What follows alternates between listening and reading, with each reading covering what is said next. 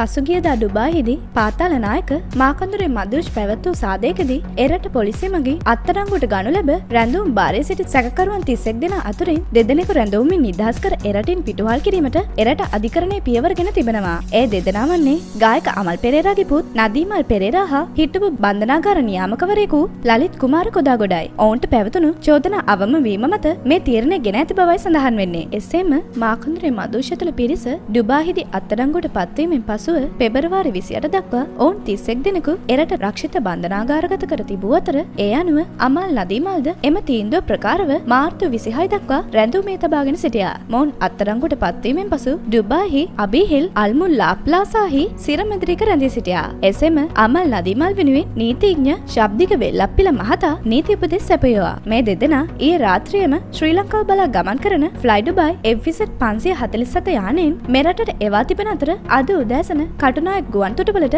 ඔවුන් පැමිණි පසුව ශ්‍රී ලංකා පොලිසි මගින් ඔවුන්ව අත්තරංගුටගෙන තිබෙනවා. මේ වෙනකොට වැඩිදුර ප්‍රශ්න කිරීම සඳහා රඳවා ගැනීම පිණිස අධිකරණයට ඉදිරිපත් කිරීමට සූදානම් කර ඇතැයිද පොලිස් වාර්තාවය සඳහන් වෙලා තියෙනවා. මේ අතර මේ පිටුහල් කිරීමට සලකා බැලීමේදී මදුෂ් ඇතුළු පාතාල නායකින් හා සහචරින්ද රයන් වැන්රොයින් හා අමල් පෙරේරා යන කලාකරුවන්ද ඇතුළුව විසි නම දෙනෙකු තවදුරට එරට සිරාඩසේ තබා ගැනීමට තීන්දු කළ තියෙනවා.